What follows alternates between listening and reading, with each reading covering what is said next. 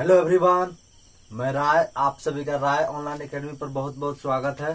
राय online academy एक ऐसा channel है जहाँ पर आपको क्लास टेन से ट्वेल्थ के साथ पॉलिटेक्निक इंट्रेंस सेमेस्टर एवं कंपटीशन का सारा स्टडी मटेरियल बिल्कुल फ्री में अवेलेबल करवाया था। तो देखिए, आज की क्लास में हम लोग, है ना? तो आज की क्लास में मैनेजमेंट में हम लोग आज पढ़ेंगे। थर्ड यूनिट में ऑर्गेनाइजेशन प्रोसेस में हम लोगों ने कुछ क्लास को स्टार्ट कर दिए थे। तो आज का जनरली हम लोग टाइप्स ऑफ़ ऑर्गेनाइजेशनल मैनेजमेंट को देखेंगे कितने प्रकार के होते हैं, है ना? तो आप सभी स्टूडेंट इस लाइव सेशन को अधिक से अधिक शेयर कर दीजिए, ताकि अधिक से अधिक हम लोग, अधिक से अधिक बच्चा इससे लाभ उठा सके, और हम चलते चलते हम लोग समय को वेस्ट न, है ना, बर्बाद न करते हुए हम लोग टू द पॉइंट पर आते हैं।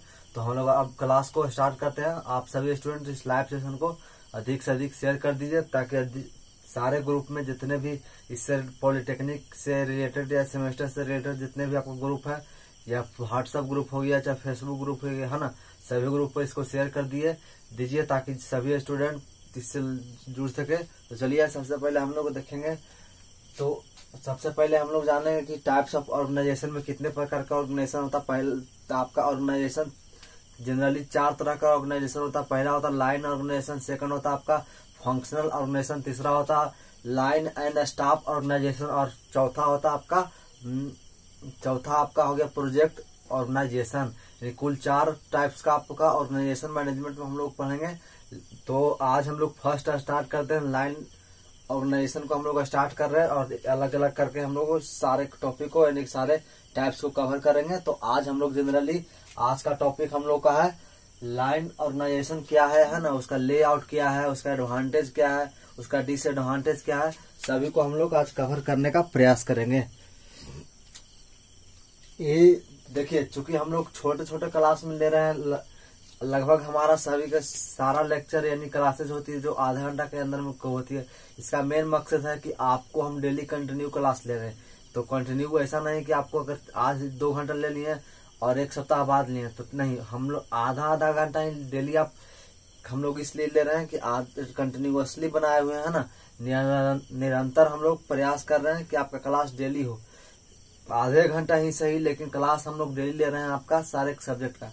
तो ये आपके लिए बहुत ही बढ़िया अपॉर्चुनिटी है और साथ ही आपका एक, आपको एक दायित्व है कि रिस्पॉन्सिबल है ना कि इसको अधिक से अधिक लाइव सेशन को शेयर कीजिए और नए स्टूडेंट जुड़े हैं तो सब्सक्राइब कीजिए। तो वीडियो अच्छा लगा तो शेयर भी कर दीजिएगा, है ना? तो देखिए, हम आपको विश्वास दिलाते हैं कि हम लोग सिलेबस कंप्लीट करने का हंड्रेड परसेंट कोशिश करेंगे नहीं करेंगे कोशिश करने का प्रयास नहीं, करके दिखाएँगे कि हमारा देखिए सिलेबस कंप्लीट होने का, देखिए हमारा सिलेबस कंप्लीट हो गया। तो आप सभी थोड़ा शुरुआती टर्म में हम लोगों ने स्टार्ट किया था इस चैनल को। तो अगर वीडियो क्वालिटी आया हो, खराब, थोड़ा थोड़ा स्थिति खराब होगा, उसके लिए हमें क्षमा कीजिएगा, है ना? धीरे धीरे हर चीज़ के सुधार करने की ज़रूरत है। जो भी आपका चीज़ें हमको लग रहा है कि इलिमिनेट करने की, दूर करने की उस ज़रूरत है तो आपको अगर सजेस्ट करना चाहते हैं तो आप कमेंट में लिख सकते हैं कि ये चीज़ें आपको इसमें इम्प्रूव करने की ज़रूरत है है ना? ऐसा नहीं कि आप कमेंट में लिख दीजिएगा तो हाँ तो हमारा एक इमेज खराब हो जाएगा। नहीं, आपको अच्छा लगता है कि नहीं वीडियो क्वालिटी पहले के अपेक्षा अब तो अधिक अच्छा ही आ रही है। पहले के अपेक्षा जब हम लोग शुरुआत किए थे और अब अपेक्षा काफ़ी अधिक आपका वीडियो क्वालिटी हो रहा है। कई स्टूडेंट का कमेंट या, और फ़ोन कॉल पर भी मैसेज किए, और बात भी किए कि सर वीडियो क्वालिटी इम्प्रूव कर रही है तो हाँ हमने प्रयास किया है कि आपका जितना भी हो सके हमने वीडियो क्वालिटी को इम्प्रूव करने का प्रयास किया है। तो और धीरे धीरे अगर आपका दस से पंद्रह दिन में और आपका इम्प्रूव एकदम हंड्रेड परसेंट होने के फुल चांसेस है ना? तो यानी कि हम लोगों ने आपके लिए हर एक चीज़ को, हम लोग को, जो चीज़ आपको लग रहा है कि इलिमिनेट दूर कर सके तो उसके लिए हम लोग दूर करने का प्रयास करते हैं। तो हम लोग चलिए अब पढ़ेंगे लाइन नंबर ऑर्गेनाइजेशन तो पहला तो हम लोग पढ़ेंगे, उसके बाद दूसरा फंक्शनल हो गया, तीसरा आपका लाइन स्टाफ ऑर्गेनाइजेशन हो गया, और चौथा आपका हो गया और प्रोजेक्ट ऑर्गेनाइजेशन तो हम लोग आज फ़र्स्ट को कवर करेंगे। तो कहता है कि this is the simple and oldest types of organisation सबसे पहले किस टाइप्स का ऑर्गेनाइजेशन आया? तो ये आपका लाइन ऑर्गेनाइजेशन लाइन ऑर्गेनाइजेशन में सीधा एग्ज़ाम्पल समझिए। इसको ले आउट पहले समझ आइए उसके बाद आप एडवांटेज डिसवांटेज सॉरी तो डिसएडवांटेज समझेंगे तो सबसे पहले देखिए कि जनरल मैनेजर यानी किसी कंपनी का जनरल मैनेजर या इसको आप हेड कर सकते हैं या इसी को ऑनर कर सकते हैं। तो जितना भी काम है ना तो जितना भी उस ऑर्गेनाइजेशन का मेन काम हो जो किस, किसके अंडर में है तो ये इसके अंडर में है। यानी कि ऑनर के अंडर या जनरल मैनेजर के अंडर में। तो सबसे अधिक इसमें किसको भार है है ना? तो सबसे अधिक इसमें किसको भार है तो आपका जनरल मैनेजर ये इसको ऑनर कर सकते हैं ना? तो ये हो गया और ये आपका, ये अपने इसके अंदर छोटे छोटे स्टाफ को हटा रहा। जैसे तीन तरह के स्टाफ को खटा रहा। अगर पैसा के लेन देन के मामला हो तो फाइनेंशियल मैनेज मैनेजमेंट लगा दिया है, यानी कि चीफ अकाउंट लगा दिया है। उसके बाद प्रोडक्शन अगर इंडस्ट्री है तो प्रोडक्शन होगा। तो प्रोडक्शन के लिए अलग एक, है ना कर्मचारी दे दिया, उसको नाम दे दिया प्रोडक्शन सुपरिटेंडेंट। इसको हम लोग अधीक्षक कर सकते हैं, है ना, उत्पादक, अधीक्षक। और एक हो गया सेल्स मैनेजर यानी चूँकि सबसे पहले क्या करेंगे तो प्रोडक्शन करेंगे। प्रोडक्शन जब करेंगे तो उसको क्या करेंगे? बेचेंगे। है ना? बेचेंगे नहीं और बेचेंगे तो पैसा को देखभाल, यानी कौन करेगा? तो फाइनेंशियल यानी कि कुल तीन तरह के स्टेप को बांट दिया। हो और सेल्स मैनेजर के अंदर कौन काम कर रहा है? तो सेल्स सेल्स मैनेजर के अंदर काम कर रहा है सेल्स मैनेजर विक्रेता, बेचने वाला।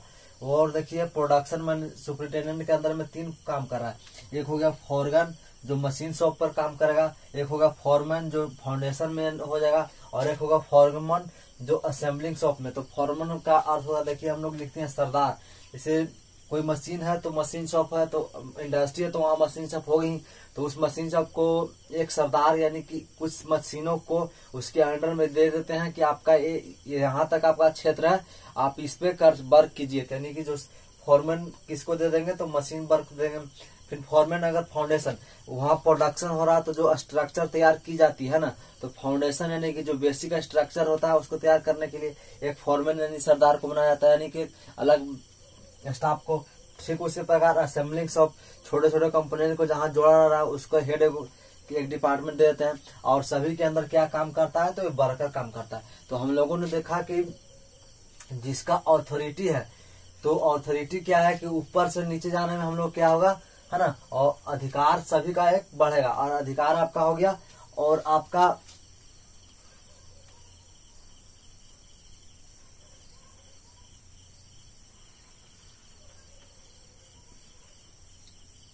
यानी कि आपका अधिकार है क्या? तो अधिकार के ऊपर से नीचे की ओर फ्लो कर रहा है। यानी ऊपर से अधिकार नीचे फ्लो कर रहा है और जो रिस्पॉन्सिबिलिटी है, यानी कि जिम्मेवारी है तो जिम्मेवारी कहाँ से फॉल कर रहा है? नीचे से जा रहा है। सबसे ज़्यादा अगर जिम्मेवारी किसको है? है ना? तो जिम्मेवारी नीचे से ऊपर की ओर फ्लो कर रहा। है तो ये हो गया, अब हम लोग समझेंगे इसका टाइप देखिए। दिस इज़ कहता है this is simple and oldest types of organisation कहता है this is also known as military या स्केलर ऑर्गेनाइजेशन इसको अलग से मिलिट्री और स्केलर ऑर्गेनाइजेशन भी कहा जाता है। मिलिट्री कहने का मतलब है कि अलग अलग एक सड़क सभी डिपार्टमेंट को एक हम मिलिट्री का मतलब एक होता है, जैसे बैंक हो गया तो बैंक एक सुरक्षा के लिए एक सुरक्षा कर्मी लगाते हैं ना? तो ठीक उसी प्रकार इस प्रत्येक डिपार्टमेंट के लिए अलग अलग हम लोग क्या लगाते हैं? मिलिट्री फोर्स इसको। तो उसी के लिए इसको, यानी मिलिट्री हम लोग फोर्स कहते हैं ना? ये हो गया। फिर कहता है, in line organisation authority flow directly from top to bottom यानी जो अथॉरिटी होता है, यानी है ना? अधिकार आपका है, वो कहाँ से फॉलो करता है? यानी कि इसका अधिकार यानी कि सभी का अधिकार यानी कि अथॉरिटी कहाँ से फ्लो होता है तो ऊपर से नीचे की ओर फ्लो करता है। लेकिन उसके जस्ट अपोजिट आपका रिस्पॉन्सिबिलिटी नीचे से ऊपर की ओर फ्लो करता है। तो ये हो गया। फिर कहता है in line organisation main decision is taken by owner जो मेन किसी इंडस्ट्री का जो मेन डिसीज़न होगा, कौन आपका करेगा तो ये जनरल मैनेजर कर सकते हैं या इसका ऑनर भी होगा। यानी कि जो जो मेन डिसीज़न लेना होगा, कौन लेगा तो उसका ऑनर लेगा कंपनी का। फिर कहता स्मॉल इंडस्ट्री सुगर हो गया textile paper comes under the line organisation छोटे छोटे इंडस्ट्री हो गया जैसे सुगर इंडस्ट्री हो गया टेक्सटाइल इंडस्ट्री पेपर इंडस्ट्री है ना? ये किसके अंदर आते हैं तो आपका ये लाइन ऑर्गेनाइज ऑर्गेनाइजेशन के अंदर आते हैं। छोटे छोटे जितने भी इंडस्ट्री है तो किसके अंदर आते हैं? फिर कहता है in line organisation the business activity are divided into three group कहता है कि लाइन ऑर्गेनाइजेशन में जितने बिज़नेस एक्टिविटी क्रियाकलाप होती है, उसको तीन भागों में बांटा जाता है जनरली तो हम लोगों ने बांट दिया, एक हो गया प्रोडक्शन सुपरिटेंडेंट एक हो गया सेल्स मैनेजर एक हो गया फाइनेंशियल अकाउंट है ना चीफ अकाउंट इसको कह सकते हैं, जो वित्तीय विभाग को देख रेख करे। एक हो गया प्रोडक्शन अधीक्षक हो गया, और एक हो गया सेल्स मैनेजर यानी उसको बेकरी का काम करवाना, है ना? तो ये डायग्राम भी आप बना लीजिएगा साथ में। तो उसके बाद हम लोग अब चलते हैं, है ना? उसके बाद हम लोग चलते हैं एडवांटेज एंड डिसएडवांटेज यानी एडवांटेज देखेंगे तो कहता है clear cut authority and responsibility इसमें क्लियर है कि आप सभी को रिस्पॉन्सिबिलिटी एंड अधिकार क्लियर अलग अलग डिपार्टमेंट का, यानी कि सबका क्लियर कर दिया गया है कि आपका क्या रिस्पॉन्सिबिलिटी आपका क्या अथॉरिटी है ना? फिर आपका स्ट्रांग इन डिसिप्लिन चूँकि सब, सभी का अलग अलग डिपार्टमेंट को हेड बना दिया गया और बांट दिया कि आपका ये करना है तो डिसिप्लिन ज़ाहिर से होगा डिसिप्लिन तैयार होगा ही होगा। तो कहता है because the duty of each member are clearly defined तो सभी का ड्यूटी है, इनका, इसका क्या ड्यूटी है? फाइनेंशियल मैनेजर का डिपार्टमेंट ड्यूटी क्या है? इसका फाइनेंशियल चीज़ों को देखना। यानी सभी का अलग अलग आपका एक, है ना, दे दिया गया है।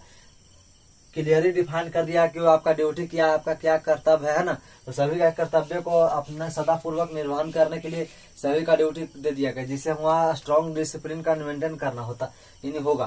फिर कहता such organisation is better work condition तो अगर सभी को मान लीजिए कि अलग अलग सभी को ड्यूटी बांट दिया गया तो वहाँ जो का, काम करने में आसानी होगी है ना? वहाँ जो वर्किंग कंडीशन होगा जो हम लोग को आसान होगा। मान लीजिए इसको दे दिया गया अगर मान लीजिए कि सभी को ड्यूटी अगर नहीं बांटा है तो कोई व्यक्ति कोई कुछ काम करेगा यानी फाइनेंशियल देखेगा कोई प्रोडक्शन देखेगा कोई मन कभी कभी मन किया तो फाइनेंशियल को देखेगा प्रोडक्शन वाला प्रोडक्शन वाला देखेगा, किसको तो सेल्स मैनेजर तो ये वर्किंग कंडीशन आपको मन नहीं वर्किंग कंडीशन आपको सही से नहीं मिल रहा है। यानी कि तो ये कंडीशन नहीं है, लेकिन हम लोग लैंड ऑर्गेनाइजेशन में क्या है, सभी को डिपार्टमेंट बांट दिया गया ड्यूटीज़ बांट दी गई है तो जिससे हम लोग के क्या होता है, यानी कि वर्किंग कंडीशन सेफ़ होता है, यानी कि अधिक से अधिक वहाँ वर्किंग काम करने का आनंद आता है ना? फिर कहता है कोऑर्डिनेटिंग बिटवीन ऑल इम्प्लॉय जो भी वहाँ इम्प्लॉय या स्टाफ पे काम करता है, जिसके सभी के बीच एक कोऑर्डिनेशन बनाया रहता है इसमें।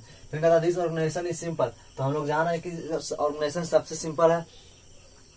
As responsible of each member is fix सभी का एक रिस्पॉन्सिबल दिया गया है ना? रिस्पॉन्सिबल दिया गया है कि आपका जिम्मेवारी है कि आपको ये काम को करना है तो करना है, आप ही को करना है ना? आपको मत, समय फिक्स समय में आपको रिस्पॉन्सिबल यानी कि आपके जो भी कर्तव्य दिया गया, उसको कर्तव्य को सदापूर्वक निर्वहन करना। तो ये हो गया डिसएडवांटेज हो गया। उसके बाद हम लोग डिसएडवांटेज में देखेंगे क्या क्या इसको, है ना? डिसएडवांटेज है। तो सबसे पहले देखेंगे तो कहता है department head are loaded with the reduce work and no give the time on future planning कहता है कि सबसे ज़्यादा अगर किसी को अगर लोड रहता है तो किसका रहता है? जनरल मैनेजर को या इसी को ऑनर कर सकते हैं। तो जिससे ऑनर यानी कि जो डिसीज़न लेने का काम मेन डिसीज़न लेने का काम कौन करेगा? तो ऑनर करता है। तो ऑनर का सबसे ज़्यादा लोड किस पर है? ऑनर को रहता है। तो जिससे वो अधिक लोड होने के कारण उसको समय नहीं मिल पाएगा। और समय नहीं मिल पाएगा तो अधिक यानी कि फ्यूचर का प्लान को समय मानी समय पर उसको सोच नहीं पाएगा। है ना? तो यही कहता है कि आपका डिपार्टमेंट हेड इसमें सबसे अधिक किसको होड लोड होता है तो जो हेड होता है ना, उसको डिपार्टमेंट हेड पर उस लोड पड़ जाता है फिर कहता दूसरा कि it is not suitable for large industry क्योंकि ये छोटे छोटे इंडस्ट्री के लिए सस्टेनेबल है। तो ये छोटे छोटे इंडस्ट्री के लिए तो है ही, लेकिन लार्ज में इसका यूज़ लैंड ऑर्गेनाइजेशन का नहीं कर सकते। हैं फिर कहता है the success is dependent upon the ability of head कहता है कि अगर किसी इंडस्ट्री में सफलता सुनिश्चित किया जाए, यानी सफलता होगी तो किस पे डिपेंड करेगा? तो यानी जनरल मैनेजर या ऑनर पे डिपेंड करेगा आपका ये ऑर्गेनाइजेशन या संस्था सक्सेसफुल होगा या नहीं होगा। उसके बाद देखते हैं wastage of material and mind power तो ज़ाहिर सी बात है कि इसमें क्या होगा? Wastage of material and man power तो फिर उसके बाद हम लोग देखेंगे इसमें क्या होगा रिस्पॉन्सिबिलिटी नीचे से ऊपर की ओर फ्लो करेगा और आपका अथॉरिटी अगर ऊपर से नीचे की ओर फ्लो होगा। तो यह था आपका लैंड ऑर्गेनाइजेशन जिसको हम लोगों ने अच्छी तरह से समझा। तो आज का क्लास हम लोग यहीं तक रहने फिर मिलेंगे नेक्स्ट लेक्चर में। तो आप इसको अधिक से अधिक शेयर कीजिए। तब तक के लिए जय हिंद।